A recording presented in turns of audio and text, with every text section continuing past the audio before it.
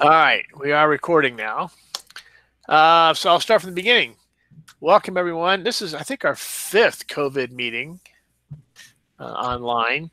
Um, the uh, the picture you see is the launch of Mars 2020, uh, launch of the Perseverance rover and the Ingenuity helicopter to Mars. The other big event this past month was, of course, the splashdown of the two astronauts uh, aboard the SpaceX the Dragon capsule, which has now completed the first commercial launch and recovery uh, of of astronauts. And so that was that was the demo. They call it the demo two flight.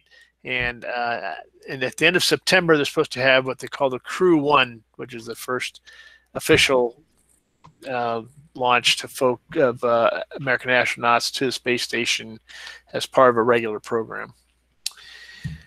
Um, okay, so with that, we'll continue here. Uh, these are the members of the board. Uh, I'm Dave Faulkner. I'm up at the top there. In the middle is Waltz Treberg. He's vice president. The treasurer is uh, Matt there at the top right. Trina at the bottom left is our secretary. And our two board members at large are Gunner and Conrad. So. Uh, let's begin with the treasurer's report. Matt, walk us through this? Yeah, you'll have to bear with the uh, noise from the floor cleaner if it comes back again. But so, okay, I think the uh, way to do this is just to kind of talk through it. Uh, total cash in the system here is 129,876.88. Um, and then uh, that is divided up between the TCF main account, uh, which we do most of our work out of, and uh, and the uh, PayPal account, which we mostly get uh, uh, the people. I'm sorry, the background noise is starting up again here. But the uh, we use the PayPal account to receive membership payments mostly, and we sometimes buy and sell equipment through that. Uh, I don't have an update for Amazon Smile, but that amount is not in addition to all of this. This is money that's directly deposited into the TCF account the most notable um, expenditure that we had was um, we had needed to pay our astronomical league dues last month, and so that was twenty six twenty, and that's per person. I don't remember what that comes out to. Was it five dollars per person or something like that? I, I think it's ten. It's five dollars per person. Yeah, I think there's a ten dollar one time uh, annual fee, and then five dollars per person. I think. Yep. Yeah, yeah. So. Um, yeah, there wasn't anything else notable at this point. We are getting close, I think, to starting on the dome repair. So the the amount that's shown in there as dedicated fund balances was actually, uh, let's see, that was um, that should cover the rest of that because that was an insurance payment. The yellow roof roll off roof was the one I was mostly thinking about where we had some bids in and we're discussing that. So that amount of money that's showing there, 14,000 is just a donation towards that, but there will be a larger expenditure to um, finish the project. Hopefully this fall, right, Dave? Uh, well, yeah, we, we hope to pull the trigger on that pretty soon because we need to get it done. And it looks like it's going to be somewhere in the neighborhood of four to six weeks to get the entire repair done, depending on weather. Uh, and so, uh, yeah, we need to pull the trigger on that uh, pretty soon. We had a meeting this past week with one of the contractors to kind of uh, talk through it. We do have bids from other contractors, and so we're we're very close to uh, uh, making a decision on that and and moving forward with it. Yep. Okay, so our total membership as of July 1st was 526 people. Did I update the date? Actually, that, that might be August first. That's that's, a, yeah. that's August first. I that was my I, my error. I, well, yeah, or mine. One, one of our two. Anyway, that that's actually the August first. Yeah. Uh, number. So okay. questions on that? Which is really nice because um, throughout the COVID nineteen, uh, our our membership numbers have have remained pretty stable. So, which is yes. uh, which is good. Hey guys, this is Suresh. Can I ask a quick question? Sure. Um, for the dome, the dome repair at ELO, has that thought been given to delaying that till after Mars gets by? Because that's going to bring in a lot of um, inquiries and people wanting to uh, use the equipment out there is when Mars is brightest in two months. if it's going to take four to six weeks, you're going to run right into that. Um, we are, uh, but we need to get it done, and we it doesn't affect Sylvia. It only affects uh, Onan. So we'll still have the eight-inch TMB available, which is probably the best telescope to look at Mars with. Uh, yeah, but I'll be the only one available for you know a lot of demand. I, I understand that, um, but um, I think the because uh, you know this this was a this was there was a substantial donation to that from the Onan Foundation itself. I do think that we need to get this done this year. So, you know, Suresh, it, it, it's a point we can consider that, but I, I don't want to delay it until next year. And so, uh, I think I think we're just going to go ahead and move through with it. It's you know, if it only takes, yeah, it's uh, that's not till October, right? Or is it September? When's opposition? Uh, October thirteenth. It should be done by then. You got two months. Just so yeah. if you're not going to start it for another few weeks, you can run right into that. Yeah. So I, we might run into it. But we have a lot of good club scopes, you know, member scopes that we can augment with too. Some big dots yeah. and other things that are comparable to what's in the dome, right? Or in the uh, the baby or Papa and we bear. still have we still have the 20 inch if we can we can keep available too. So, I. And the ones I, that are I, out at L, at CGO too, CGO as well. Well, he's yeah, he, he's talking about specifically um, the, the, public star parties. I think public nights. Ah. But I think if you know, um, um, you know, we, we will still have the TMB and we'll have the 20 inch that we can roll out. So, I, I'm. We need to get this done. So. Hey, hey, Dave. For the benefit of the group, could you? Is Brandon. Could you explain again what what they're doing at the yellow roll off roof? Yeah. So, um, in, in, the the way the roll off roll off roof is right now, it's it's a C channel, and there's and there are rollers that are embedded in the wall of the of the observatory, and as it rolls off. Uh, it, what we've been experiencing in lately is that it's been kind of binding. The the roller things have shifted a little bit, and the rollers are no longer in line, and so it, it's getting harder and harder to roll the roof back and forth at times. It, it takes two people as a, at a minimum, and sometimes four people to get it to roll off right. So what we're doing is we've redesigned the uh, the whole roll off mechanism so that the rollers are now will now be on the roof itself and it will roll off on a track a, a uh, angle track um, that will be ex- that will and we're going to add additional uh, wall to support that track all the way along there. So it should make it much easier to roll the roof back and forth and uh, will be supported the entire way uh, on on track uh, instead of you know kind of passing from one pulley to the next or not pulley one wheel to the next the way it is now. If if anyone wants to know more about that um, I've, you know, I've got the plans we can give you to you but that's basically it is that we're just changing the way that it's that it's rolling off from the c channel and the wheels embedded in the wall to the wheels being on the roof itself and then rolling along a track that's supported the entire way. Yeah, thanks, Dave. That's awesome. What a great update. Yeah. Okay. Any other questions? All right, Loaner Scope program. Anton, you want to just talk briefly about that? Sure, I am here. Okay, so um, the Loaner Scope program has been very, very busy. Um, again, for the members who wish to borrow a telescope, um, the, the request form is on our website under members, Lunar Scope program. There's a form to fill out, re, um, making your first three choices for our one of our dozen telescopes. We also have those um, DVD astronomy short courses that you can request in the text box. Okay, all that said, um, um, so far, those of you who like numbers, we've loaned telescopes 39 times so far this year. Oh wow! And and we have a about a half, half dozen or so members waiting for telescopes. So they've all been out. Um, most of them are out right now, and most of them have waiting lists. The only telescope that's immediately available is the Coronado solar scope. Um, there will be be some more coming available later in the month. So if you wish to borrow a telescope, get your request in early so that I can get you on whatever waiting list is appropriate. Um, one of just just a little comment. Um, you were talking about um, um, membership a few minutes ago.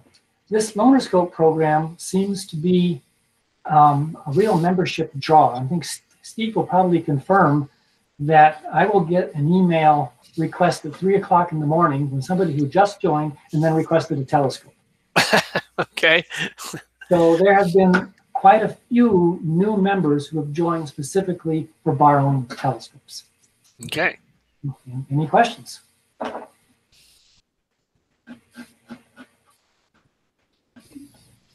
Okay. All right. Very good. Thank you. Okay, upcoming celestial events. Uh, we have on August 9th uh, a moon uh, Mars conjunction. Uh, there's also an occultation, not here. It's actually in southern South America. Uh, then on August 11th is the last quarter moon. August 12th, of course, is the peak of the Perseid meteor shower. It's uh, rated as pretty good. we've the moon the moon's 47% full, I think, and it doesn't rise until like one o'clock. So, uh, so your zenith hourly rate from 60 to 100. Um, and August 13th, Venus is at uh, greatest western elongation, so be highest in the morning sky at 45.8 degrees. Uh, well, that's how far away it is from the sun. I don't know if that's it'll be exactly that high in the sky, but depends on the angle of the ecliptic. Um, August 19th is a new moon. August 25th is first quarter moon. And then September 2nd is the full moon. Is there anything else we need to talk about? If uh, people are out looking at the comet tonight, I'm not sure if it's going to be clear enough, but it's right next to M53 tonight. There's actually been some nice pictures already posted on the internet about that. If people get a chance to see the comet tonight, look for like to that cluster. All right. Very good. Thank you. Okay. The August star parties. So we have our impromptu star parties with uh, site COVID-19 uh, rules. Uh, see the site forms for those. That's been going very well. I've been monitoring the forums, and uh, you know the, the, invitations go out, and people sign up for that. That all seems to be going very very well. Uh, so we'll continue with that. Uh, then we have the public star parties on August 8th and August 27th, 22nd, which is reservation only through through the forums. Um, my understanding is August 8th. Uh, do we need some volunteers for that? Is Merle on?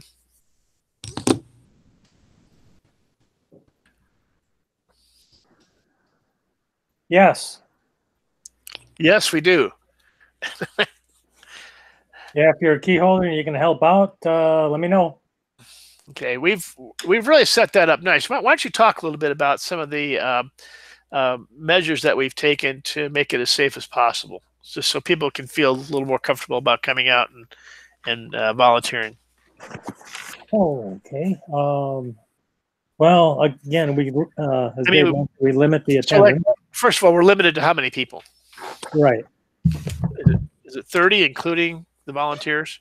Um, yeah, yeah, about right about 30. I cut off registration at 24, 25.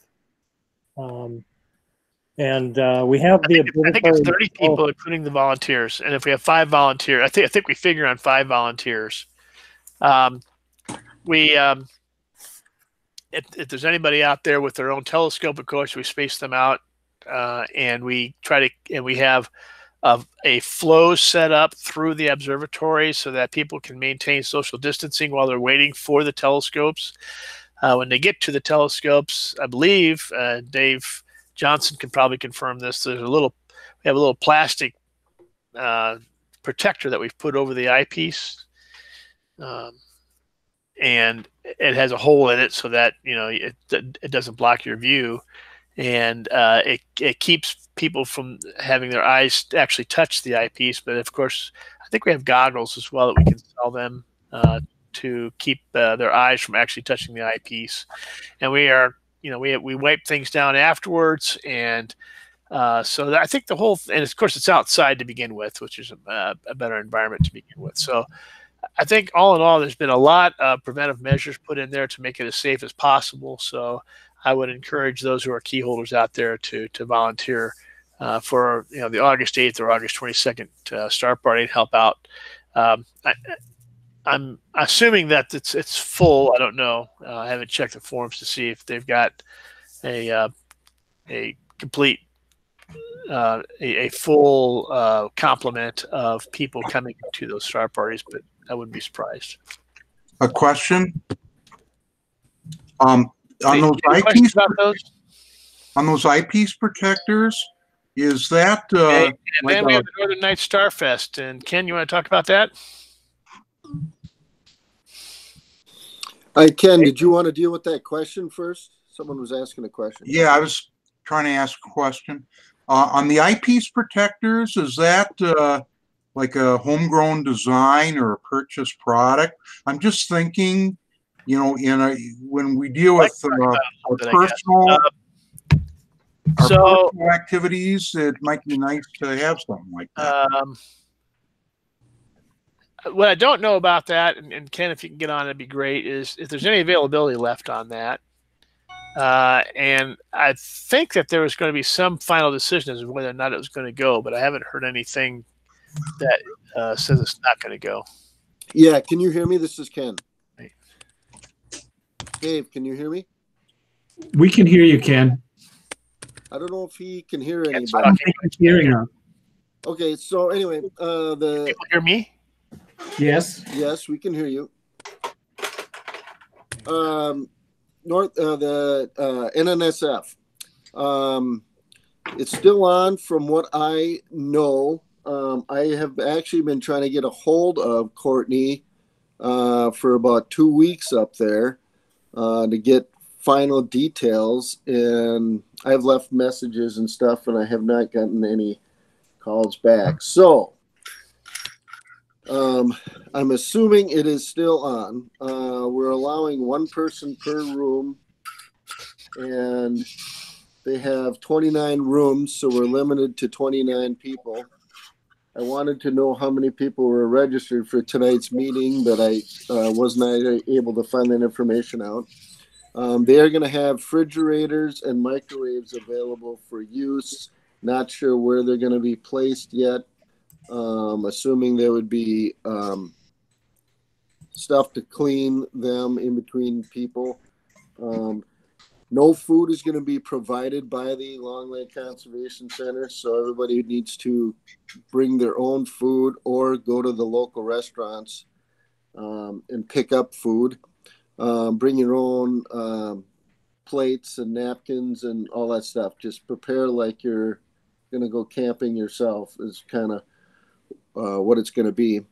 Um, no public lectures or anything will be going on, although we've talked about doing Google Meet like we're doing tonight um, for a couple events. Um, and that pretty much covers it. We do offer camping this year. You can bring an RV and park it. Uh, there's no 30 amp plugins, but there's uh, 20 amp plugins. Um, the RV people would not have a shower to use. There's no shared shower facility allowed. Where is that located? Those those sites? The the RV sites, Yeah. um, they you can park them in just the parking lot, the normal parking lot, and there's a power hookup there. Okay. Um, there's a couple power hookups in the gravel parking lot across from the the field. garage itself, the Yeah. field. And then I think down by the Markham house, they had another spot where you could set up uh, Okay. down there. And then down by the Markham house, they also say that you can put up a tent, some tents there on the south side of that. Okay. Yeah, I know. I know what they're talking about. Yeah. Okay. Very good. Uh, So So, uh, when do you expect to hear from Long Lake on on whether it's a go or no go? I mean, uh, we're assuming well, it's a go, right? I'm assuming it's a go. Yes. Um, I have actually called um, Jim, the maintenance man, today and left him a voicemail to tell them to get a hold of me. Um, so I'm assuming that since it's kind of closed, that there's nobody manning the phones or anything right now, um, and that it's um, going to be just kind of open for us for this star party.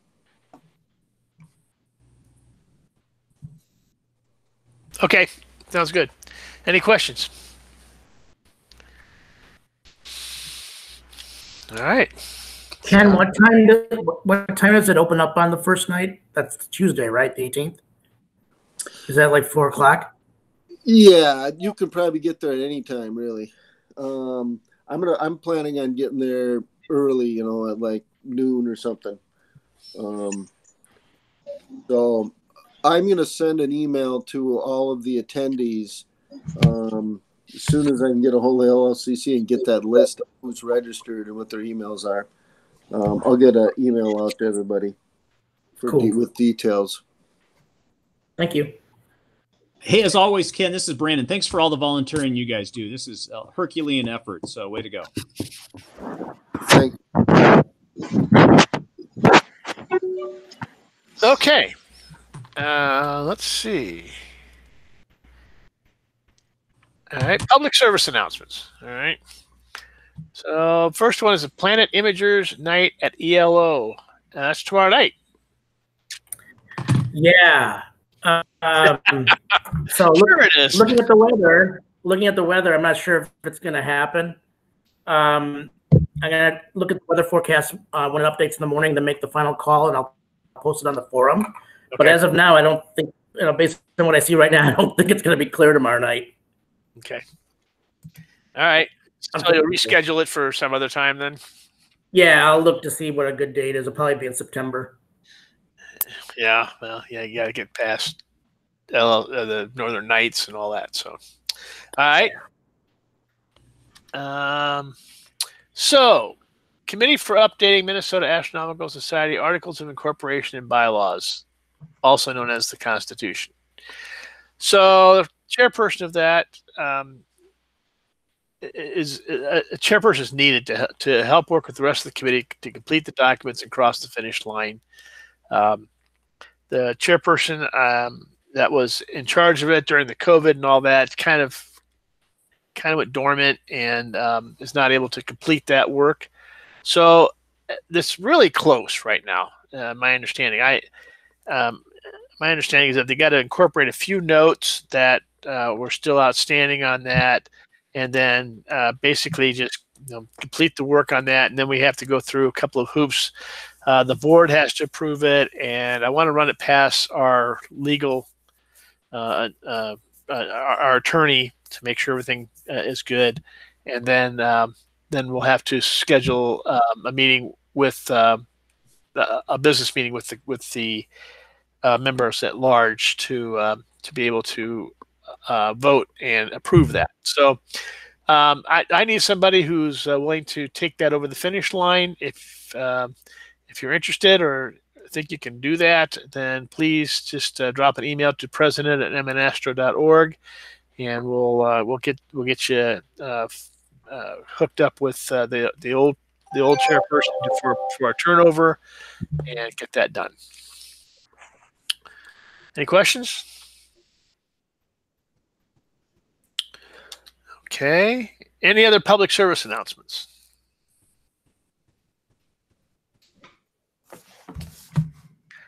Wow. Amazed. Mark Job, are you on? You always have a public service announcement.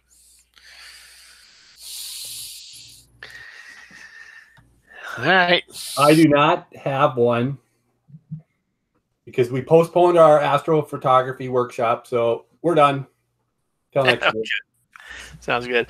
Although I will say that um, I, I don't have a slide in here on this, but uh, the um, imaging rig down at Cherry Grove is very close to uh, operational. In fact, they're they're going to be scheduling some training later this month, uh, and it's It's been set up for the the, the Takahashi uh, refractor, and it is uh, my understanding is that it's pretty close to plug and play. You just bring down your flash drive and plug it in, and and uh, fire fire up the system. And, Dave, do you want me to talk about it just briefly? Well, yeah, that'd be great.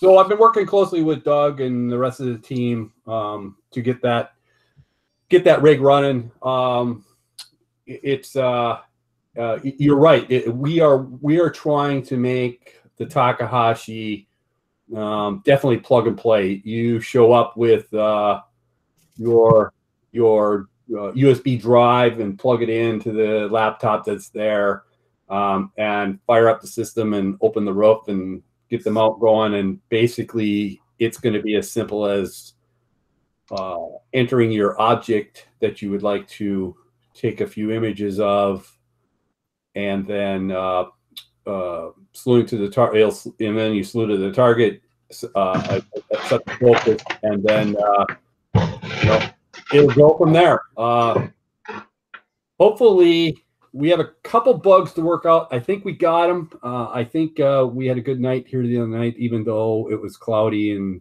not very nice. Uh, Doug and I were on the phone till well after midnight. Uh, he was down there working on it. Uh, so we think we got it. Um, we just need a better night.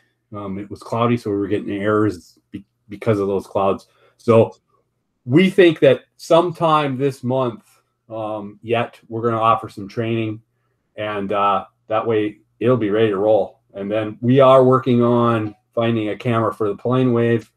Um, we're down to two or three um, cameras that we're looking at yet. Um, I don't think we've made a final decision. Um, Doug and I have talked about it. I don't know what I don't know where that's sitting with him and the rest of the team. So that's where we are. Thank you. That sounds Uh, good. Dave, Dave, this is Doug. So I'll talk a little bit about that. We do have uh, some training planned. I have I, I set that up today for August uh, 21 and 22. Uh, 21 being the date, 22 being a backup date. We prefer this to be a um, clear night uh, event so people can actually get some pictures.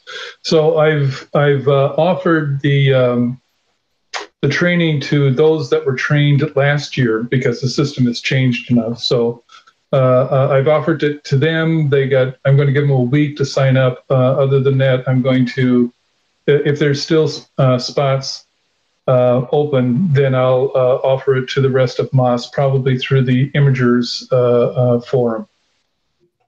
Okay, so and I, I would assume that you're going to have like a step by step guide on on how you uh, how you get you know come in and get the roof open and get the system set up and get going. And and uh, uh, so a person can literally it's cook I, I call it a cookbook. It literally goes through the cookbook to get set up and pointed to an object. The uh, the yes, we do have a cookbook. However, uh, if imaging has taught me that there are things that kind of go wrong, and you kind of have to figure out on the fly what's going on. So, uh, uh, while there is a cookbook there, a procedure that that uh, that the team has been working on, um, it's you, know you still uh, might run into stuff, and it's awfully disappointing to uh, drive out that far try to get the system to work, and then all of a sudden you're not sure what to do. We do have a troubleshooting section in back, but it's not populated uh, uh, very much at this point, and will get more populated as people run into things.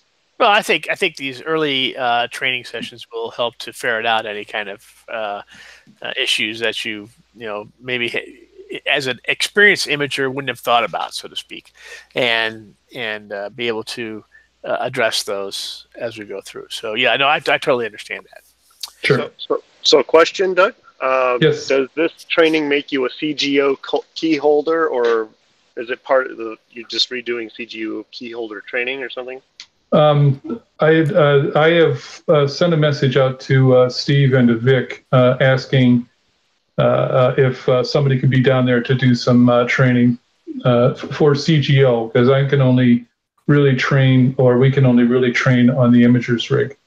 Uh, so I have that. I have that out there. Yeah, I think um, you know, since you have to get into the observatory to use that, I, I think a prerequisite would be that you're a CGO key holder in order to be able to use it. Yes, that is a prerequisite. Thank you. Hey, Doug, as a Suresh, have you guys given any thought to dates after this that weekend? Because uh, some people may be at uh, Northern Nights Starfest that weekend. Um, no, we're going to do it that weekend. Uh, there will be another training session, I hope, in September and in October. Yeah, sure. I, I thought about that too. Uh, because of the limited number of people that are going to be allowed to come to Northern Nights, I thought there's probably still going to be people around that would be willing to take the training. Hey, hey, Doug, this is Brandon. I just thank you for your leadership on this imaging rig. I'm just so thrilled as a CGO committee member of all the help you've done and Mark and everybody that's been involved. So way to, way to go. I just want you to know as you're working on the cookbook, I, I'm actually the guy that put the visual rig cookbook together, and I certainly can share the soft copy with you of all the instructions to opening and closing the dome, which you'll probably want to add to your imaging rig instructions as well. Okay, I appreciate that. Yeah, that's great. And and and thank you, Brandon. Uh, and the other members are there's myself, there's uh, Mark Job, uh, um, Robert Miller, uh, Jim Knudsen, and Conrad Sanders uh, is the team. Well, we want to thank them because I know that's been a long road uh, going down this, and there's been some fits and starts with it, but it sounds like it's finally coming together. And appreciate your work on that uh, yours and the whole team's work on that because I know because I know it's been a team effort. Thank you. Okay, uh, as usual, call for Gemini articles. Uh, you have something interesting uh, piece of equipment. Um, I'm actually going to be doing in a, a little Ed Gemini article myself on a repair of a uh, uh, my tenant Schmidt Newtonian, and uh, so if you've got an article, you know, something that you want to just write about, uh, send in a couple of pictures. Uh, you can send them in to Father Brown. The articles will be due by September 10th for the October issue. Okay. Astronomical League, Jerry Jones, MAS, Astronomical League Coordinator Extraordinaire. Are you on the line? Can you hear me? We can hear you. Oh, good evening, everyone. It's nice to uh, nice to see you all, or sort of zoomingly see you all. It has been a rather um, busy a busy time in the neighborhood of uh, of of observing, which is really great. Um, any of you who have attempted to try to purchase any astronomy gear recently have, have, I'm sure, have run into the issue of that. One of the advantages of COVID is that the uh, the public is growing has has an, an, a renewed interest in astronomy and, and using purchasing astronomy gear. And so we have a number of people who have, over the course of the last couple of months, completed some some projects, and I hope that uh, there are many more in the hopper. Uh, Don Winseth finished his Lunar One. Congrats to you. Uh, Anton Gregory completed two of them. He completed his Two in View recently and his solar system, which also because he had done his uh, his Northern Constellation Hunter uh, earlier, he is now what's considered a an observer, which is one below his master observer, but it's necessary as part of the whole progress of going up from uh, master observer to advanced observer to silver and all that kind of stuff. And lastly, uh, John Zimich uh, earned his binocular double star recently, so that's all really pretty cool.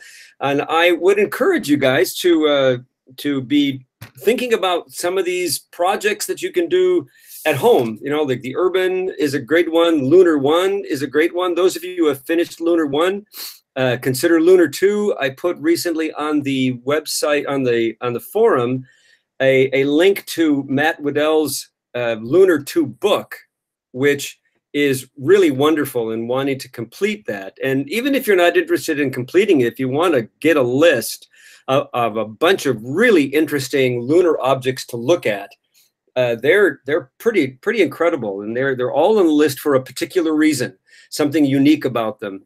And uh, he has it lined up by days. So if you're looking at Lunar Night Four, for example, uh, you can download his free book, uh, and uh, he'll get there'll be a list of some interesting things to look at. They're difficult to find, but they're interesting things to look at on every single one of the nights. So so that's pretty cool. So that's all I have, unless somebody has any questions. All right. Thank you, Jerry. Appreciate it. You What- bet. My pleasure. Jerry, what all what are all the programs that you need to complete in order to, be, to become a master observer? So you need ten. Uh, the, there are five required, and then there and then there are five that you can choose. The five required. Okay, let's see if I can get them, even though they're not in front of me. Uh, the Messier honorary. uh, Sorry. the Messier uh, binocular, um, double star. Uh, help me out. Somebody else is. Let's say, uh, what else Is are there? Herschel one? The, uh, no, Herschel. Herschel is not a require. Uh, oh, yes, it is. Yes, it is. Herschel. Yeah, I think it is. Yeah. Thank you. Herschel 400, and then there's one other one. Uh, Lunar one. Lunar one. no, no one's been talking about that this evening. so yes, those five. Thank you all for helping me out. Duh. Uh, and uh, and then and then five of your choice. So uh, yeah, it's a it's a great it's a great list of things that give you kind of an overview of what it like what it's like to be a well-rounded observer. Okay, thank you. You bet. All right. And as usual, we want to make sure to encourage everybody to go get out there and observe. Uh, thank you for having that that one right there ready for me. Thanks very much, Dave. Not a problem. okay. Uh, before we get to our featured speaker, the next monthly meeting will be Thursday, September 3rd. Uh, it will be another online meeting. Uh, the uh, Fairview Community Centers uh, will not be opening by then. I don't know when they're going to open up again, quite frankly. So I think you can anticipate online meetings for the near future. And uh, of course, see the main the MAS main page for any details about the meeting. Okay. Anything else before we turn it over to our featured speaker? All right. So our featured presentation tonight is from Tom Field. He is a Sky and Telescope contributing editor. The title is You Can Almost Touch the Scars. So I'm going to stop presenting here, Tom. And uh, if you want to get in there, do you have something to present, I assume? I do. Good evening. So uh, I haven't used the Google Meetings in quite some time. So if I stumble around a little bit, I hope you'll help me out here and forgive me. Uh, now that you've changed my screen, I need to figure out how to uh, share my screen. So, Uh, oh, there it is. Now, got it. Okay. And we're in. Good. Let me just make some changes here. So I assume you can see now. Can you, Yes. can you see me now or no? Can anybody see me? I can see you, yes. Okay, great. It's nice if I'm not just a disembodied voice. Good evening. What an- amazing turnout. This is really one of the largest club meetings I've uh, participated in. Congratulations. I, I saw on your site that, uh, or maybe Ahmed uh, had mentioned that you were uh, the largest club in the state, and I can see why. My goodness. So um, I'm a contributing editor at Sky Telescope. I've been doing uh, astronomical um, imaging and observing for about 30 years, which means I'm a newcomer compared to a lot of you. I'm going to speak for about 45 minutes, uh, talk about some of the things I've been up to, and uh, then we can do Q&A until you drag me off the stage. Um, I think probably the best thing, in your, depending on how you all handle things, uh, is just to wait on questions till the end, uh, and then you can, uh, or maybe text them to whoever's running the meeting. I don't know quite how you organize things. Does anybody want to jump in and mention that? Well, um, to be honest with you, you're the first real speaker we've had. Uh, Oh, so um, I think that uh, uh, people can either put them into the chat and we can handle them at the end, or just wait until the end. That'd be fine. Okay, great, terrific. Uh, nicely run meeting so far, very crisp and um, moved along quite nicely. So uh, let's get started. How is it that we've managed to discover so much about the universe when we really just haven't even stepped outside our own neighborhood or even our houses? Of course, images can show uh, the universe in two dimensions. And by the way, this Hubble Deep Field is the size, uh, a piece of the sky the size of a tennis ball held at arm's length, if you weren't aware of that. And we can get fleeting glimpses of a third dimension, right, during eclipses. And also, if we wait a while, we can see, especially you can spot it in the upper right-hand corner, but also elsewhere on this image, some stars going on and off. Uh, as I hit the forward and back keys, are not really varying in period. Uh, these standard candles. But if we spread the colors out, we get an as if fifth dimension.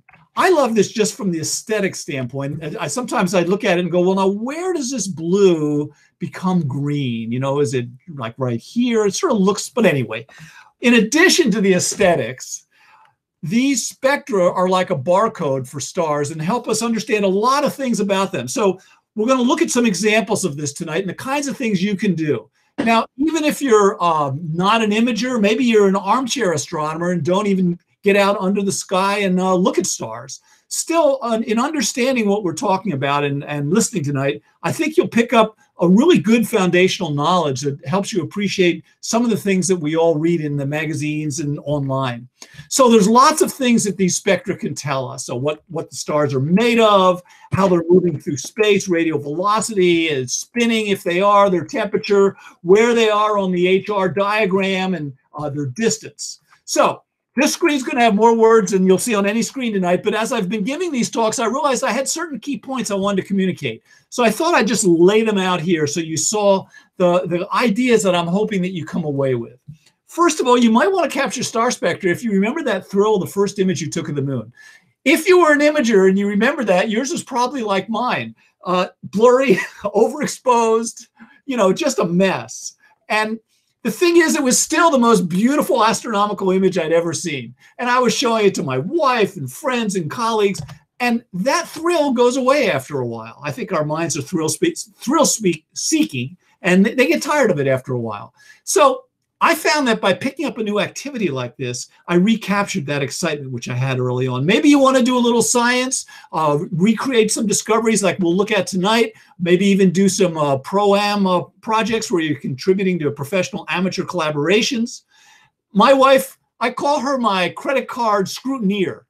And uh, neither of us like the risk of buying new equipment when I'm not sure I'm going to use it. And all of you probably don't either. And I think you'll find the things I'm going to talk about tonight start out very inexpensive. And like most things in astronomy, can get more expensive as we get deeper in. This may be the most significant point, and that is when you own the data, you have a very different relationship to it than when you're looking at it in a magazine you know you're interested you may do some reading online and and it sticks instead of going in one ear and out the other so uh, that has really uh, deepened my relationship uh, to uh, understanding some of the science behind what we're doing. Uh, and what we do with uh, spectroscopy does not require a dark sky site. It's much more immune to urban light pollution and other kinds of imaging. So some amateurs will just do it on their driveway where they would never think of imaging on their driveway or from their driveways.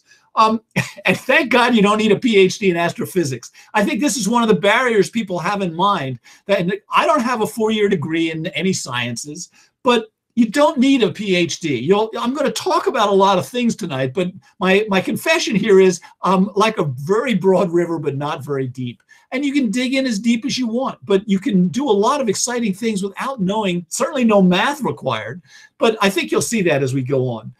I'm not an astronomical imager. I wrote down somebody's name who is, who was mentioned here earlier on. I don't see it there on my pad, uh, but I don't have the time or dark skies, patience, skills, or interest in doing some of the long exposures, the beautiful long exposures that I'm glad other people do. I'm going to show you things you can do with a video camera with exposures that are less than a quarter second. Um, and I break just about every piece of equipment I work on. So I'm not a do-it-yourselfer. I'm going to show you things. This is not something you have to build up yourself. Uh, it's simple to get started. I think my favorite keystroke and command in Windows is Edit Undo uh, or Control Z. So, on occasion in my life, I've wished I'd had that. Uh, but uh, I think you'll see there's not a lot to be done in terms of building, unless you care to. Um, if you're doing outreach and engagement, and I think a lot of the members here do from what I've heard, I think you'll find uh, some of the screens and, and um, especially live videos I'm going to show you uh, really are exceptional in capturing people's attention and also giving you a springboard to talk a little bit more about the science. Uh, and if you're mentoring, the same thing goes. So this is a little frivolous. I'm not part of the cool crowd, but there are about 10,000 amateurs doing what I'm going to show you tonight. So this isn't some, uh, you know, black swanny kind of tale, a leading edge. This is well-established uh, technique and science, uh, and you, will see as we go through. I'm going to talk a little bit about the science and the history here. Forgive me, uh, we need to lay this groundwork so that everybody can uh, come along uh, for the ride. Sir Isaac Newton used a uh, prism to split light into its component colors. You can also do that by bouncing light off a finely lined surface or even passing it through a finely lined grating. And we're going to look at that tonight. Fraunhofer, about what 200 years ago, uh, is credited with discovering a spectrometer and that it uh, could observe features on the sun. But the excitement started uh, with Bunsen about a half a century later. So Bunsen invented the Bunsen burner to burn a sample, put it through a prism, and look at the result. And he burned everything. He was a pyromaniac, and he cataloged all the spectra, which we'll be looking at in a moment, that he saw the different elements he was burning. He created that catalog, and it really served us going forward in the future decades, as we'll see, as well as centuries. Now, Kirchhoff on the right there was a, a co-researcher of his, a colleague. We're not going to get into a lot of details about what he was uh, uh, talking about in, in the various writings he did, but I want to show you one thing without getting too technical here. There are two different types of spectra that you can see. You can see this one has a standard rainbow in Roy G. Biv order, right? Red, orange, yellow, green, blue, indigo, violet. And these have gaps in them, so they're absorption spectra. Whereas this one down here has a black background and has emission lines. Which you get depends on things Kirchhoff talked about, but we won't. Uh, the temperature of the gas on the star that's creating these gaps or these emission lines. And uh, it's we'll see both. The interesting thing about these is that they really um, are the same lines, whether they're absorption or emission lines, they're in the same position. So it doesn't really matter a lot for the purposes of understanding what we're looking at. Okay, so these spectra are like chemical fingerprints. You'll notice, for example, on this hydrogen that there's a line there that doesn't appear in helium. So, and in fact, the hydrogen lines are so commonly used that we name them the hydrogen Balmer lines. There won't be a quiz on any of this later, although I'll be happy to answer questions until you you tug me tug me off the stage. And these lines we've actually, like the uh, stars and constellations, given them names, Greek names, hydrogen, alpha, beta, and gamma. And we'll be hearing about those ad nauseum in the next few minutes. So uh, this is a periodic table of spectra. We're not going to spend a lot of time here. You don't have to pull on your chemistry hat or worry about getting too deeply into this. But I wanted to show that there are, if I get my drawing lines right, there are the hydrogen alpha, beta, and gamma lines. And so, and they're very different uh, than they are for helium. Or, for example, also looking at lithium, what your uh, cell phone batteries or your laptop uh, use lithium. You can see the lines are different. So they really are fingerprints. So now we don't have to burn things these days. We can actually use just a gas tube that's heated. Now, because I can't see myself, I just trust that you can see this gas tube over here. It's just a glass tube with some metal probes on the end. Uh, and uh, they, uh, as you can see, the gas tube, I'm, I'm not going to burn down my basement with it. So now how do we get these spectra? Oh, I wanted to mention this also. This is just a little desktop spectrometer that we created a few years ago for educators, uh, for gas tubes uh, in a physics or chemistry or astronomy class. And we have a lot of those all over the country in both high schools uh, as well as universities. So we're going to jump around a little bit chronologically. Forgive me for that. In 1835, this French philosopher said the stars are just too far away to know what they're made of. But just several decades later, he was proved wrong by these people Italians, uh, French, uh, uh, British. I was, I was going to say UKans, but that's not quite right. So, you know, as knowledge changes, obviously, there are things that we come to know that we didn't know just several decades earlier. And sometimes I wonder in several decades, what the science will be, or maybe 50 years where they'll go, yeah, they, you know, back in 2020, they didn't understand that at all. Let me turn off this gas tube. So, um, so far, all the examples of people I've shown you have been old white men. So uh, it's only fair that I show you some of the women who don't get uh, discussed as often as they should. Annie Jump Cannon, you may have heard of, and her group of women computers were prohibited from accessing telescopes because of their gender.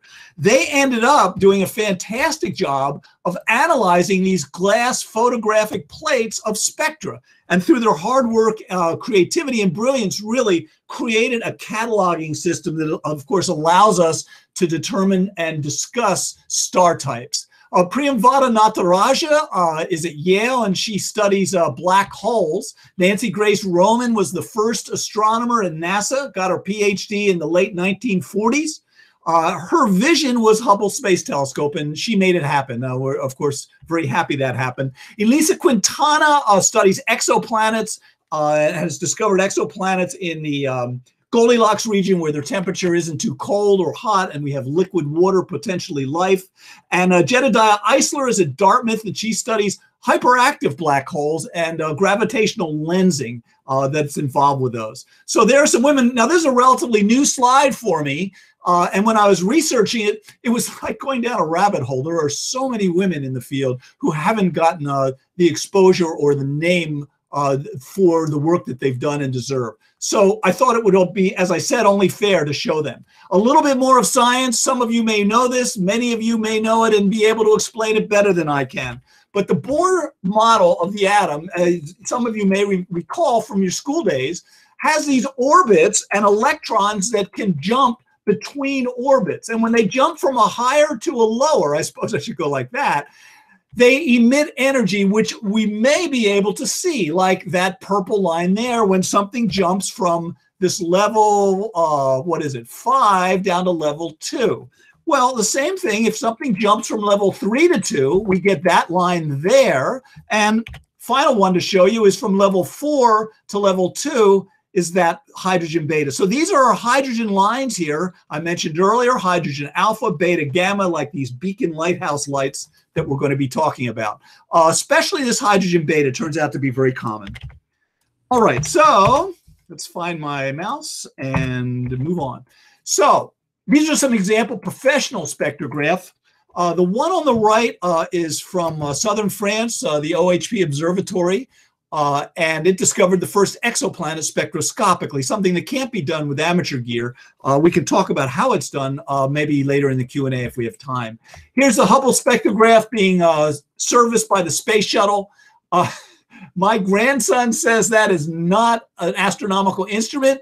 He says that's a refrigerator. It's filled with beer, and they're on the shuttle. They were real party animals at night, and you know they get a lot of nights in 24 hours on the shuttle. They did, and we'll just leave that for now. Here's Dale Mais's setup, and you can see it can be a, a real tangle and an expensive tangle. Uh, need not be. The thing I like about this is over here, this uh, gas tube, neon tube that has just been like shoved in into its device there. And I really like that at the ends are the, you can see the pins for that tube. And I picture Dale with these alligator clips, high voltage, trying to clip on to get that tube to come to life. And, you know, it's high voltage and you draw a spark, first of all, you get a shock, but you ruin you ruin your night vision if that should happen. But it need not be as complicated as this. I'm going to spend a lot of time showing you examples from this star analyzer grating tonight. It costs about $200. It has um, basically inch and a quarter threads and threads onto most devices. And we'll see some examples of that in just a moment. Here's the first example. The star analyzer is threaded onto the uh, end of a DSLR. And there are our beloved hydrogen alpha, hydrogen beta, and hydrogen gamma lines. These lines are formed as the light escapes the star, goes through the outer atmosphere, and because of those electrons jumping up and down, uh, the, uh, some energy is on occasion absorbed and we have gaps in the spectrum. Notice that this camera does not have any tracking. It makes it considerably harder here uh, because you need, again, like any sort of drift imaging, to get things aligned right. And uh, in fact, well, what kind of drift imaging can you do that's that's anything but spectroscopy? So I don't recommend, it's also small aperture. I don't recommend this approach, but I thought it's interesting uh, and wanted you to see how simple it can be. And some people do this. So on the upper left here is uh, an example of a DSLR, a little bit zoomed in because I wanted to show you this black adapter there, which we sell that threads onto the lens cap threads of the camera and then provides an inch and a quarter thread here. Uh, you can piggyback this on a telescope. And the advantage of using a DSLR standalone like this is that the light goes through the grating first before it goes through the lens. It's called an objective grating, and you get higher resolution images even though you've got small aperture. Some amateurs actually stop down their telescopes so that they can do this kind of imaging with an objective grating. Uh, over here is a you know a typical FITS camera. The camera need not be color, need not be mono uh, can be a video camera, DSLR, most any camera. On the lower right there, we've got an example of uh, this is just an imaging source video camera. In many cases, you can just thread the grating right on to the camera. And on the lower left, uh, we have an example of a filter wheel. We'll talk a little bit more about mounting uh, in, a, in a little bit. So when we take a step up by an order of magnitude in price, we now have devices that have a slit. They're much higher resolution and they're more difficult to use because you have to acquire your target and track on 20 microns or whatever the slit size is. Almost nobody, I think like maybe one in 100 or one in 200 starts out with these devices. There are actually do-it-yourself 3D printed devices available now uh, that um, uh, do pretty well. I don't have one on the slide, and I will the next talk I give. So um, here's a star analyzer piggybacked on a telescope, and you can see at the bottom there one of these high-end devices. Every spectrum I show you tonight, except uh, if I call out differently, will be done with a star analyzer. So I'm not going to, uh, hopefully not confuse you by showing you some high-end spectra and low-end spectra without pointing out the differences. Okay, thanks for your patience. We've gotten past all that foundation we need to build up. So when we take a star's light and go through the grating, we get a rainbow that we can capture on our camera sensor. Here's our first example that's really pretty, pretty, I was going to say hot diggity dog, and then I was going to say kick butt, but just, I'll probably overuse the term tonight, amazing. So each of these is a different spectrum captured at a different time. Uh, these were captured by uh, Torsten Hansen. You can see his name down here with an about an eight inch Newtonian and an imaging source video camera. So these stars are in temperature order, hotter stars at the top in OB G order. So there's the B stars, A's, F's, K's, and M's as we go down. So look at those differences right out of the gate clearly those cooler stars at the bottom have something different going on. Notice these wide bands down, you know, for some reason, uh, Google Meetings is hiding my mouse sometimes, which is okay. Just makes me a little confused. See those gaps down there, those bands? You don't see those on these hotter stars up here. And those bands, and I'm going to tell you everything I know about them because I don't want you to think that I've got a lot of depth in this because otherwise when we get to Q&A it'll become evident at that time. Those bands are, are a molecule, titanium oxide. On these relatively cooler stars, a molecule like that can survive even though it's very hot, it's not so hot to burn it up. The other more interesting thing on this is this region down here. This is at around 4800. This is our hydrogen beta line. Notice that it differs across the different temperature stars. This one in particular is the darkest and widest, and that's on a type A star. So this is that hydrogen transition when the electron drops from level four to level two.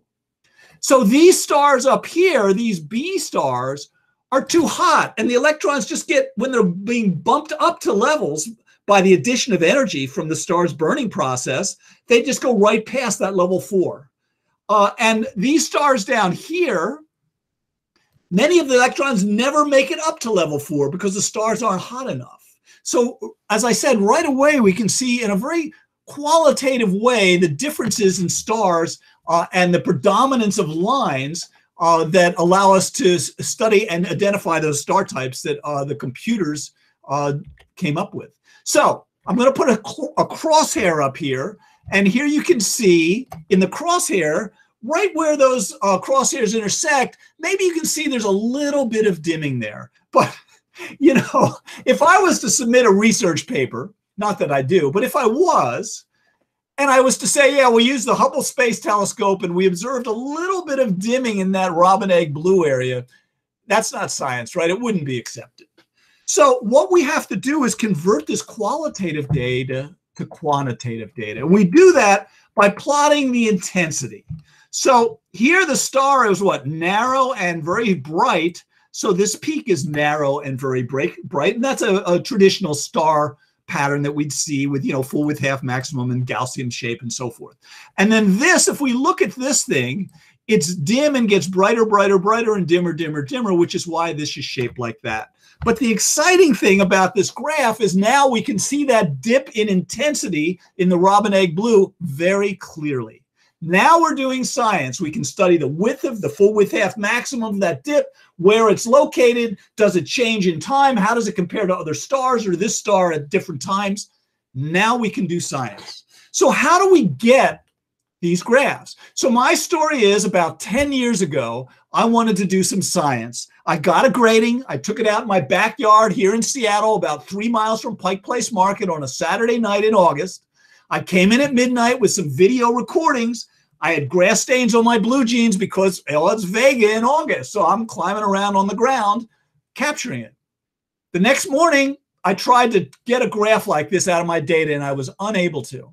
I was using various shareware that existed that I downloaded, and I got so frustrated, literally. And I mean, these days you have to say literally, literally, literally, I gave up because it was I couldn't do it and it was too hard. The software was crashing. Half of it was in French.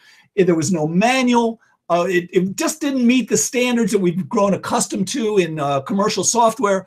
And I gave up. I told my wife, I'm not having fun. I'm supposed to be having fun. This is a hobby. And I threw the box in the drawer. It kept bugging me though, because I really wanted to do this. So a couple weeks later, I decided, okay, on Saturday, I'm going to write just a little bit of code. I've been developing code uh, since the 60s. That, um, yeah, really. And uh, I'll just generate this graph. You know, and I did that Saturday, Sunday, I had my graph, which this is. And now, 10 years later and 5, 10, 12,000 hours later, the software is almost done. My wife keeps asking, all right already. It should be done. I want to have dinner at a decent hour. So um, I want to show you the software, not to walk you through yet another software demo. It's, it's a little later there where you are, and I don't want to put you all to sleep. But what I do want you to see is how easy it can be to capture these spectra, because I think one of the obstacles to all of us getting involved in a new activity is I don't want to learn a new piece of software. So on the left here, we have an image. I happen to be using a color camera here because it makes it easier to intuitively see what's going on. There's our Roy G. Biv spectrum coming off that star. This is from that first night out that I did.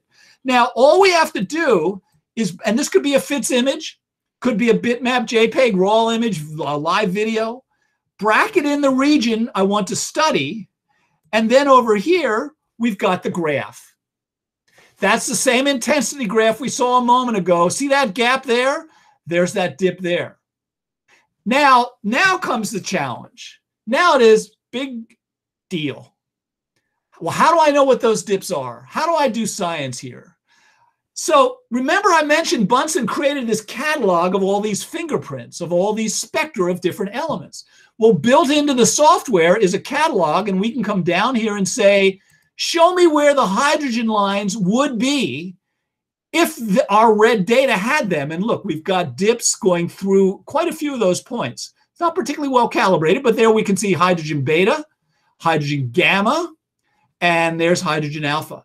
So now we have pretty good empirical evidence by those matches that we're actually observing with a backyard telescope and a video camera the hydrogen absorption lines of Vega.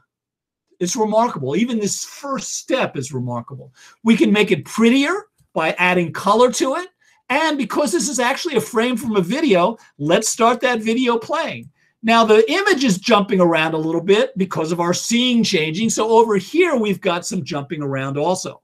Now, uh, this is, uh, we can stack the data uh, in real time, which I just turned on. You'll see this stabilize. Some of those features get deeper and clearer to see.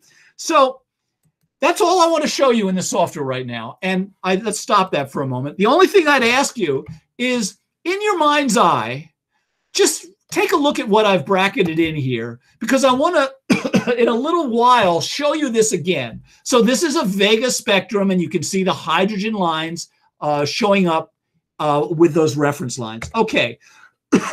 so let's uh, minimize that and come back to our presentation, which is there. If you're not seeing my presentation again, I hope you'll let me know. So here's a demonstration done at a huge public outreach. This is the kind of thing I was mentioning. This happens to be in Marseille in France. Uh, you can see their Department of Physique. I think they're, this just betrays how uh, how culturally centric and ignorant I am. If I this is only the second time, it will be the last time I make this joke. I guess uh, Department of Physique, they must be uh, bodybuilders working on their physique. This is a great image because whether it's uh, on an overhead like this or whether uh, it's uh, on a, a, laptop display, uh, especially if it's a live video playing, it really is fascinating to people. This is actually a gas tube they're showing here, not a star. So here's an example of a wider field done with a DSLR. There's a star there. And then over here, we can see some emission lines from that star. This star here has some absorption lines like we saw in my software. Okay, so when Janet Simpson sent me this spectrum some years ago, I have a confession to make to the group. I couldn't remember what a Wolf-Rayet star was. There may be some of you in the audience who are in the same predicament I was. Even though I'd read about it I'd read about Wolf-Rayet stars probably half a dozen or dozen times. But you know, things do go in one ear and out the other. Well, Wikipedia is our friend, and a Wolf-Rayet star is a massive late stage star. A lot of the outer shell has been dissipated, and we can see down towards the core of the star. So, what the spectrum shows when we graph it are some carbon emission lines. And these lines, like there and there and there, you remember, of course, stars burn their way through the elements one step at a time. This star has worked up to carbon. And we're actually seeing that with a DSLR and a mechanical tracker. So this surprises people that this is possible. Not only amateurs are surprised, but I've set my, my equipment up at uh, professional conferences with my laptop on the hood of my car outside the portico at, at uh, motels and hotels in relatively urban settings. And it's always a little nerve wracking because these sometimes are, you know, Hubble researchers who are coming out the door. And, you know, I'm a knuckle dragging programmer. And so, but when I show them this, you know, they're sort of casual. I go, what do you got there? And, I, and I'll, and many of them have never actually seen a telescope capturing a spectrum and had no idea this, let alone what I'm going to show you in the next few minutes, is possible. So if we look at an extended rather than point source object, it looks like that. This is the only extended object that looks good with a slitless grating. You can see again the object itself. This object really only has two colors, so it's relatively interesting. But with a traditional spectrum that had that Roy G. Biv continuum, they'd all be muddled on top of each other and you wouldn't be able to see much. But we, as I said, we can see the hydrogen alpha and the ionized oxygen there. So let's look at an extended object that is viewed in a slit spectrometer. You don't get much more extended than M42, right? So eh, we can see the same emission features we were seeing previously, ionized oxygen, even though this is the beginning of stellar lives instead of the end, we can see our hydrogen and our, and our oxygen. So this, again, requires a slit spectra, but it's certainly possible. So I'm going to stop sharing my screen for a second because I'm going to ask the group, uh, I'm going to try anyway, uh, there we go. Uh, I'm asked the group uh, if anybody is interested in um, sharing their first experience observing M42. If so, just hover your mouse and unmute yourself. You know, what kind of telescope were you using and what was your experience? What did it look like? Anybody want to uh, volunteer to share that? It's okay if you don't. There won't be a quiz. I won't challenge you on anything you say. Sometimes it's fun to hear other people's experience when they were newcomers in the field. Uh, anyone? Bueller? Anyone? Okay. So since we're not getting any answers there, unfortunately, you are going to be subjected to my story, which is very fast. And that is uh, after I share my screen again, and I need to see how to do that. Present now, uh, entire screen. And there we go. Thank you for tolerating that interruption. You should be seeing my screen now, but it hasn't changed. So let me try again entire screen. And we select the window and click on share. There we go. So my first view of M42 was in the early 90s. Uh, just before Shoemaker Levy 9, I had no idea uh, anything about astronomy except I wanted to see this collision. Um, I went out at a star party in Denver in an urban setting, and it's fun to remember when you didn't understand something, how you looked at the world. And I walked onto that observing field and I saw all these, to me, they were those cannons like you see in the circus that people get shot out of. I didn't know they were Dobbs. I had no idea. I queued up at a Dob uh, being um, run by somebody like many of you, explaining what they were seeing uh, to these newcomers like me. And I was all excited. They were enthusiastic. This was going to be just stunning. And I got up to the eyepiece and I was really disappointed. It was a smudge. It was a mono sludge. There was no color. There was no texture. There was nothing. I bet some of you had a similar experience. But here's the deal. You, like me, probably go back and still look at M42.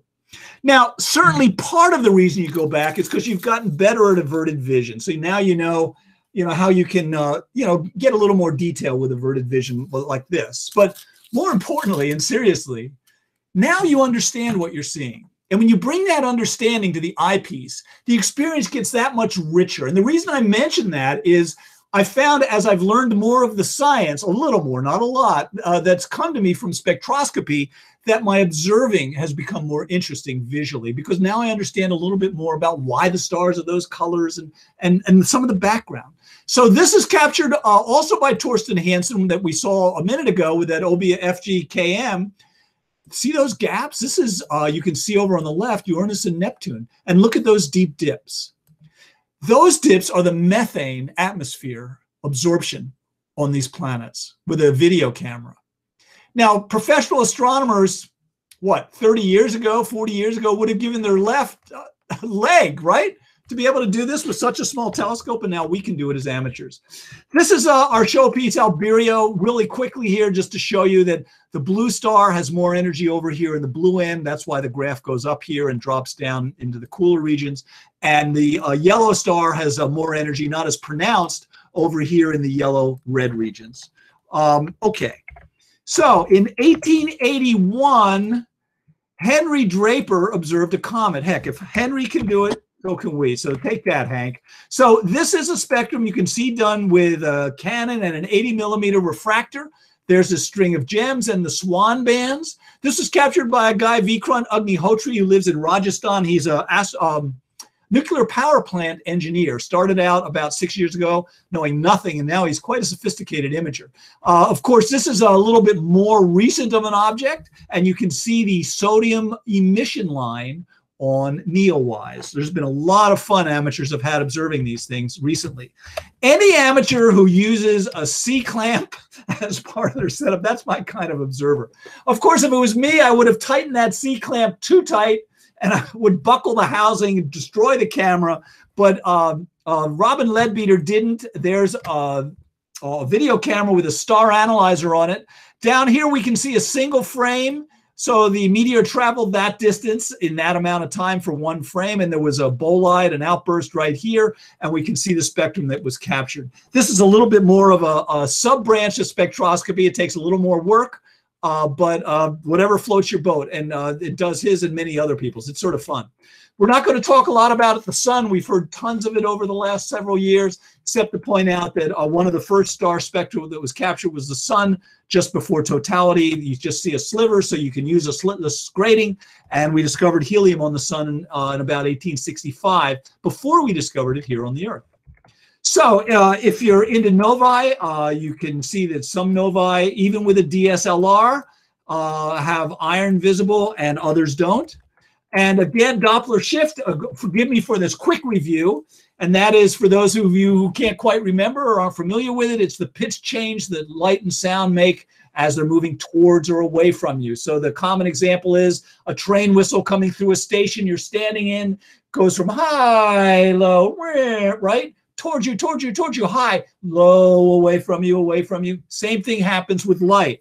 So if we were trying and expecting to capture a spectrum like that triplet right there, and instead of finding it there, we found it there, we know that was the Doppler redshift because the object was moving away from us.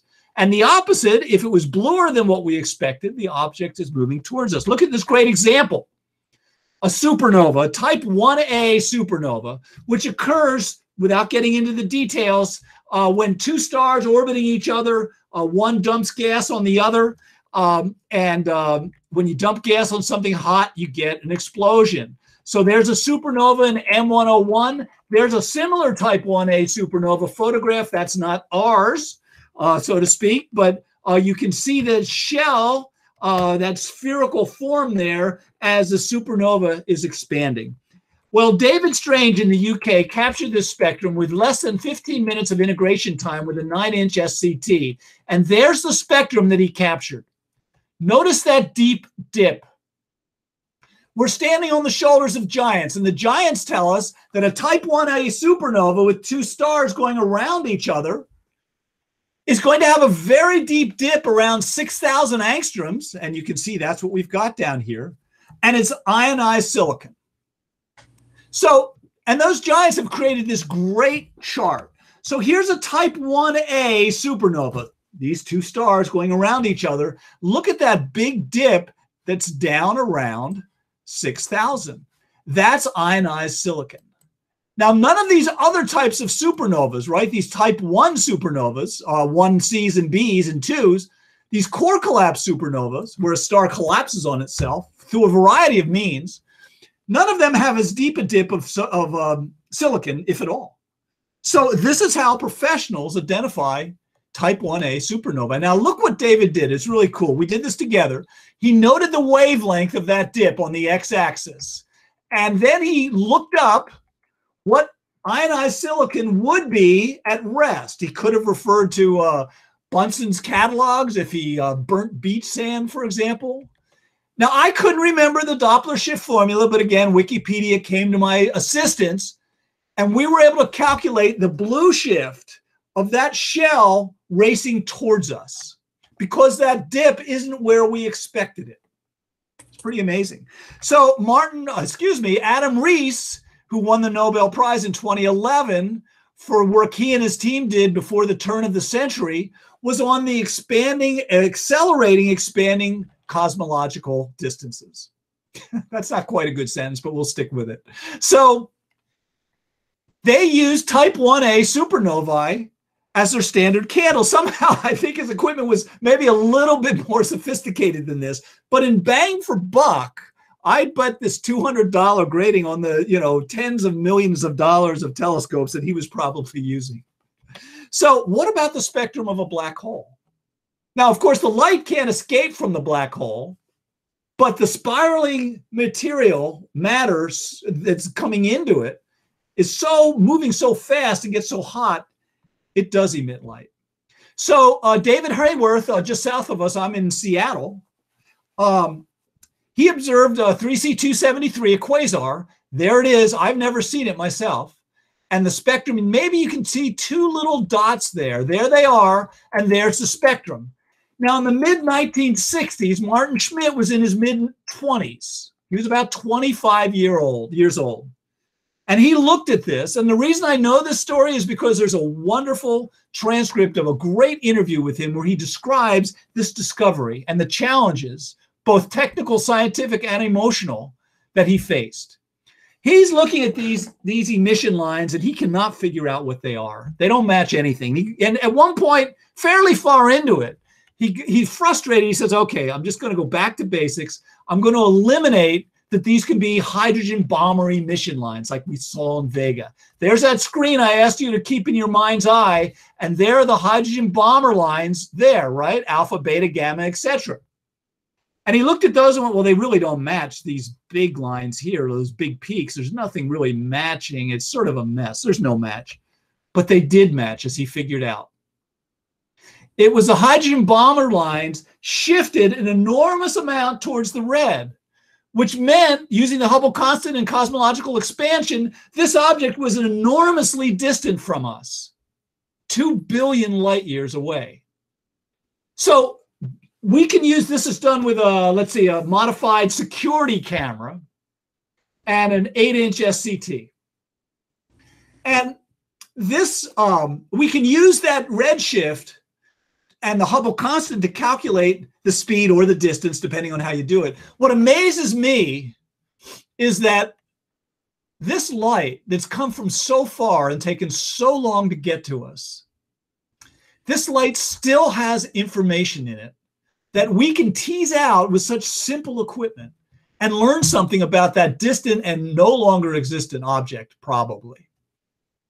Nothing ages as well as that in the universe that we know. That's a bold statement. I've never made it quite that way before.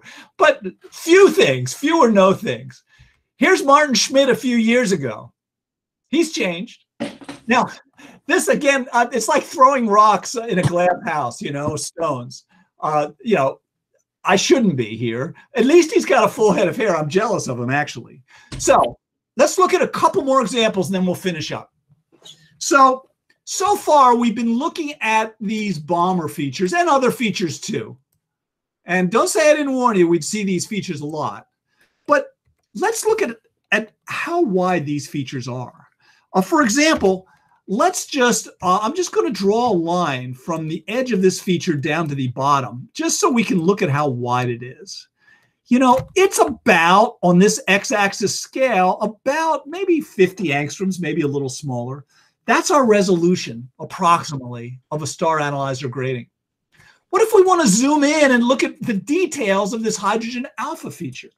For that, we need a higher resolution uh, system like the slit spectrometers uh, I mentioned earlier. And I'm going to show you one of those. Uh, the way we can do this is capture a spectra of an object we want to know, like Vega, we want to study, and an object that's not moving, like, well, the moon. The moon isn't moving towards or away from us appreciably.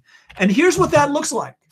This is the hydrogen alpha line. In blue is the moon, and in fuchsia, I'm not sure technically that's fuchsia. In fuchsia is Vega. And look at the difference. And we're actually able to calculate the radial velocity fairly closely, closer than an order of magnitude, really easily. Now, notice that we needed resolution. It was sub angstrom. There's actually a decimal point there. That's 0.67. So that's 0.67 on this scale. So you can see how far zoomed in we are. So I've got one more thing to show you, also a slit spectrum. and I've got um, this teaching aid. Now, because I can't see my preview, I'm going to move fairly far away so I make sure this is in view. It's a star that's spinning really fast, right? So this edge is coming towards you. So there's redshift for that light.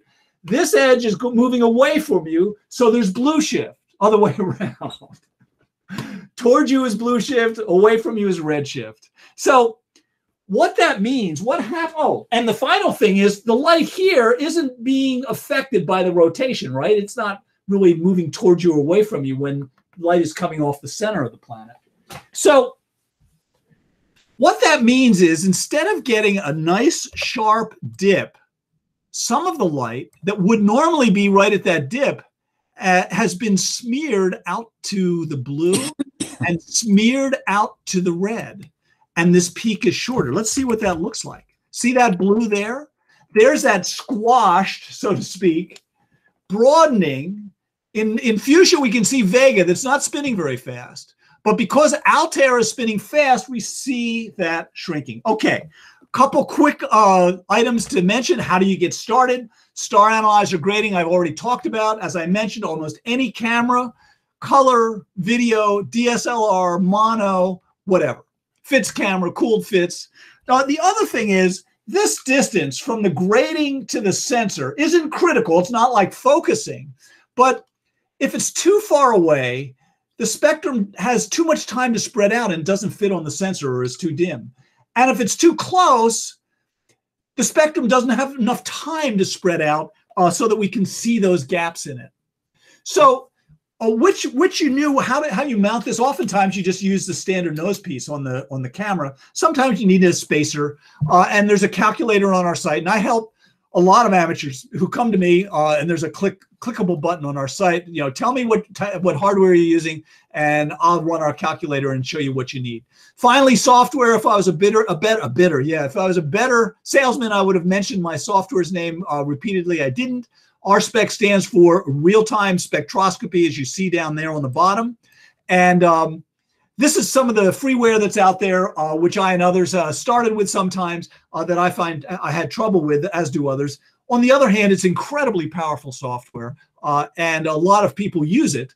Um, it's uh, difficult to learn and difficult to use in many people's opinion. So, um, a couple more slides and we'll be done. So uh, the age, age old, the problem that I mentioned earlier is when you get started, how do you know what all these dips are? I'm, I'm not an astrophysicist. So one of the books that's on there on the screen is this wonderful book by uh, Richard Walker and uh, Mark Trypsteen. The cool thing about this book is they actually they show you spectra and they call out what you're seeing. Unfortunately, that's not a good enough uh, help for somebody like me. I don't know the significance of nitrogen or oxygen, but they also have diagrams and lots of pros aimed at us as amateurs, not professionals. These are great, both these books as well as others that exist. Uh, my software is uh, free for 30 days. And the good news is maybe you never plan to do this. You can still download the software for 30 days. Also on the site is a video of a workshop in person I gave to about 100 AAVSO members a few years ago at the SAS conference in LA. And with the sample data that's also on that page, tonight or tomorrow, you could be walking through processing spectra following the videos. The site also has a ton of tutorial videos. There's no 400 page manual to read. The AAVSO has jumped into spectroscopy, both Arnie and uh, Stella, uh, his uh, successor, professional astronomers. They know the importance of it. I'm speaking to the AAVSO later this month, as well as at their general meeting uh, in October. Uh, they have an online database now that's growing. And as a result of that, we'll see more pro-am collaboration. Uh, there's not as many opportunities as we'd like, but they're coming. Finally, over the last 55 minutes, I ran over a little bit. I apologize. As well as the last two or 300 years, we've learned a lot, right? This is uh, Fraunhofer. That was supposed to be a square. Uh, Fraunhofer, as you may recall, long ago, before we dove in, um, he uh, uh, is credited with the first spectrometer as well as observing star spectra. And uh, Kirchhoff was a buddy of uh, Bunsen's, and uh, he formulated some rules to help us understand what we were seeing. I'd like to thank all of you for your patience with me, for smiling and maybe laughing at some of my jokes. Uh, and I also want to tell a really brief story, and that is I was doing outreach at the Pike Place Market I've been chased out of the Pike Place market here in Seattle because they don't let anybody just set up because otherwise there'd be musicians and uh, magicians and buskers on uh, every five feet. So I was I was like across the street, and I was showing the sun with my Lunt telescope, and there were some other people near me hanging out. Not street people in the sense that they slept on the street, but people who hung out on the street. They they made me a little nervous, you know, and and uh, so at one point one of them came over to me and, and, now i was really worried. I just i wasn't comfortable with the interactions which betrays us again some of my biases and economic uh, issues maybe more than anything. He came up to me and he said can i look? And i went yeah sure. I probably didn't grimace like that. And he looked and i'm doing my spiel sunspots size of the earth prominences all those things. You know what i'm talking about. And he looked up at me and he said, and he was interested. I mean, he asked a question or two and was humming and going, wow. He said, How did you learn this? And at that moment, the gulf between my experience and his and the opportunities that I've had and you all have had. If you're here listening to this talk, you've had opportunities and you've taken advantage of them. That's true.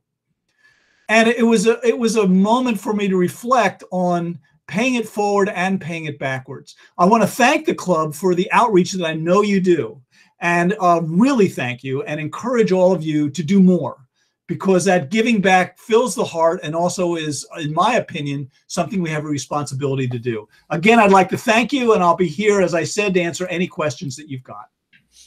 Say, um, uh, Tom, this is, this is Dave Faulkner. So, uh, the uh, the actual filter itself that you screw into the one and a quarter or, or one and a half inch eyepiece, yeah, uh, wh- where is that available at? Uh, we sell that also. You it's on our site. Yeah, we ship same day. Typically, it takes two three days to get there. Good. Gotcha. Thanks for asking that. Sure. That's that's uh, this was really fa- fa- fascinating. I'm, I'm I'm kind of excited. I I, I I'm very likely going to get into this. That's So- my goal. I mean, to me, I, the only drawback to, to what I do these days is because I'm a businessman and I sell stuff. I think everybody may look at my enthusiasm as, as if it's a little tainted by shucksterism. You know, I just want to sell things. Someday I won't be in business, decades from now, I hope. and then people will really take my word for it that it is as exciting and amazing uh, if it's your cup of tea. So I'm Sure. glad at least I touched you, David, and maybe there's other people who are interested or just have questions. Dave, there's a question in the chat. Uh, what are the two books? Ah. So the, there is on my site, there's uh I I won't show it on the screen, but there's on the top menu bar on RSpec Astro uh, is a menu option called links. And if you scroll down there, the books are even linked to on Amazon. Oh, thank you for posting that. Uh, they're, they're by they're by Richard Walker. And uh, uh, truth in advertising, I, I get you know, and some of you know this as a as a uh, affiliate, meaning I refer people to Amazon to buy things. I get a, a cut if you buy something. I think in ten years I've made literally ninety, actually maybe even thirty dollars. yeah. But what's in, what's really fun, really, it is. I don't know where the ninety came from. It's definitely under forty. And the interesting thing is about being an affiliate is I don't know how they figure it out, but if anybody buys something during that visit that they initiated with your link, you get a cut of the sale. So I've I made like four cents on a My Little Pony uh, little doll. that somebody bought. so, but yeah, there's lots of books, uh, and there's others which uh, this is a, a little more technical in terms of the background, but there's other uh, Patrick Moore series books that uh, explain a little more about the science about and the history uh, that are also good entry points. What else? And and this this was recorded, so you could go back into the recording and see the books uh, as he displayed them in his in his uh, uh, slide presentation. Thank you. You should create an AL observing program for this. There actually is one uh, that just came up the other uh, a few months ago. Somebody brought it up. Somebody here in Washington created it. I it seemed like it was a little bit harder than what I would have come up with, but it's a good program. Uh, and uh, I don't know if I haven't really followed it. I don't know if anybody's into it, uh, but uh, you could be the first. Um, one question that uh, people sometimes ask is, well, you know, how dim a star can I image with this stuff? Just really briefly, when you're imaging or even visually, well, let's talk imaging. When you're imaging, all of the photons from the star fall on a handful of pixels, right? Depending on your full width half maximum of your setup. But when you take some of that light and split it out into a rainbow, now you're spreading the same total number of photons across hundreds of pixels. So you lose five or six magnitudes. Now, it's not as big a bummer as you might think, because as it turns out, you don't need a lot of photons and there's tons. So suppose you can image down to 15 now. This means you can image down to nine or 10 for spectroscopy. And there's plenty of things that you can observe at that level. Now, is my video is still showing? Because there was one thing I forgot to show you. My wife always says to dress for success. And uh, now this is now there you can see is the hydrogen alpha there. I know I know it's a mess right now, and I'll tell you, the problem is my salon's not answering their phone. Can't get through, and and I, I- the the real problem is if you look down those roots, there's like a lot of gray showing up. Now I know some of you know what I'm talking about from your households. That gray down there, but this is a little hot to wear all the time. But uh, again, it's a nice gag. What else? Thanks, Tom, um, for this very enthusiastic presentation. That was wonderful. Thank you. Um, so I have a sort of a practical question, which is um, uh, how do you calibrate the position on the you know the spread out spectrum on your image with with the wavelength? That is a wonderful question, and that's why I'm going to share my screen right now. You should be able to see my software. So good. When you start imaging, things look like that with this axis being pixels, right? Because it's just, you know, these this image. So my camera was 1300 pixels across on this. And what you're asking is how did I get this into wavelength? How do I know that that's a hydrogen alpha or a beta or whatever it is? By the way, that's a water line there. That's the absorption of water in the atmosphere. Sort of fun to know that's there. So it's really simple and it's easier than you might have expected, primarily for two reasons. First of all, these gratings are linear. Linear grating means that the light gets spread out the same amount no matter what its color is uh, proportionally. So that means, for those of you who uh, remember or even work with today the math, That just means I need y equals mx plus b. Well, the second thing that makes it easy is we know that this is zero angstroms. That's the light, that's this light here, of the star that went straight through the grating without getting deflected because the grating isn't 100% efficient in deflecting light. So, without getting into a lot of the details, um, we all we have to do is tell the software two points in their wavelength, and we know this point that's zero angstroms, undeflected light. So now the second point, this is the only one that's like, well, how do we figure that out? The way we do it is we look at a type A star that has a very pronounced hydrogen beta line just to the left of the peak. So this is the um, this is really the bootstrap. So we look at that wavelength. You can see the little balloon help 735. That's this pixel value here. When I put that in here, when I click apply, this axis is now going to be showing in angstroms. That's the m in y equals mx plus b. So that's how we calibrate. Um, one other thing, as long as I have this, uh, does that answer your question? Yes, it does. But you have to also answer why are you using angstroms instead of nanometers? That's a really good question. And I don't know the answer to it, except traditionally astronomers in the visual light range use angstroms. I mean, as if we're not saddled badly enough by not using the international units in all of our lives. I mean, all right, we still stick with with magnitude. Yeah, yeah exactly. That's a good point. Yeah, you. I mean, you can switch the software to nanometers, and everything will work fine. But um, this, for some reason, uh, in the visual range, they've never made the switch. Um, the other thing I wanted to show you, as long as I've got this graph up here, is I want to show you a professional spectrum of a type A star like Vega, which this is. Uh, and the software has a reference library uh, of professional spectra that have been cleaned up and fixed. So I'm going to show you the spectrum of a type A star like Vega. Well, the one thing that's sort of cool is you can see this blue professional spectrum does have a dip right where we expected one there. And there's a really deep dip on that hydrogen beta. And in fact, these line up and those. So, so we have some correspondences, but there's also a big difference. Their dip keeps going up as if this was a Planck curve. Whereas our data goes down. That intensity as we get into the blue over here drops. And that's because our camera loses sensitivity in the blue. Now, there's an easy way to convert our data, which is being affected by our camera and the grating and, and extinction in the atmosphere, uh, if we're too close to the horizon, so that it has this shape. Uh, and once you've done that once, uh, you don't have to uh, you don't have to uh, do it again as long as you're in same similar observing conditions. Uh, the reason I well, I'm just going to keep going instead of taking that little detour. What I want to show you uh, finally here, and then I'll stop sharing my screen, is this video of Albireo, A and B. The dimmer one there is Albireo B. The software is set up to automatically do that calibration I just described so that the curve reflects the energy from the star and doesn't have our camera wimping out in the red Albireo B is a, coincidentally a type B star. It's very hot. And look how more of the energy is over here in the blue end of the spectrum rather than in the red end. Now I'm going to start this video because this is real time under the stars. You're going to see in about five seconds the mouse come alive, and I'm going to move those orange lines to the other Albireo, which is a cool type K star.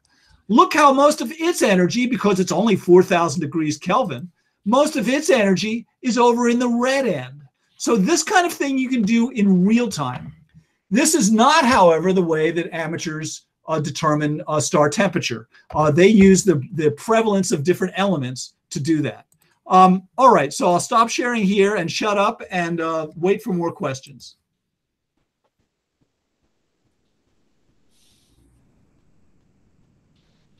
Well, good. If there aren't any other Oh, good. I, I just wanted to say thank you. Yeah, I was just about to ask about Albireo, but you beat me to it. So that was a good. really fascinating view to see them side by side. Isn't that amazing? Yeah, it is. Uh, I again, I want to thank the club uh, and for all of all the work you do in outreach and for inviting me tonight. Uh, I'm going to uh, bug out and let you all uh, do what you do. Uh, it's probably um, a heated topic. I, I might mention. So I've given uh, since June, I've given 35 presentations to clubs and uh, about 250 over the last six or seven years using WebEx. that back then I was I was giving it to clubs that were assembled, uh, and now it's much easier because everybody's familiar with online sessions. Um, I, I, wanted to again forgive me for mentioning this to encourage you to think about using Zoom because as you as you recognize a lot of this. Who was it? Was it a woman with a TR in her name, Trina? I think. As she mentioned, the nice thing about being on Zoom is you can see all the people's video, and it's not generally a bandwidth problem and it becomes more of a social event instead of just seeing a handful of people and then disembodied voices. So give that some thought. I'm sure you've got great reasons for using uh, this here, uh, Google. But anyway, uh, uh I'm there. She is. Thank you, Trina, for popping in. Now I've got your name right. Um, and thank you for uh, making that comment earlier. Uh, and that gave me the doorway through which I just walked. And I'm now going to flee by running out and closing the door behind me. Well, Tom, thank you so much for coming and speaking to us. This is really fascinating. I'm sure there's a lot of us who, who will uh, who will follow up and uh, maybe start getting involved in in the spectroscopy. So good. You're uh, welcome. It's great. Great. Good. Yeah. Thank you very much. And that actually wraps up our our uh, our meeting for tonight. So uh, thank you everyone for joining uh, and have a really great evening. Uh, maybe I'll see some of you up at Long Lake. And I guess that's about it for tonight. Thanks a lot. Yep. Thanks, we, we peaked out at about 69 people, it looked like. So that was a really that's, good turnout. I think that's a, that's a new high for us. That's great. Thank you very Thank much. You, okay. Bye.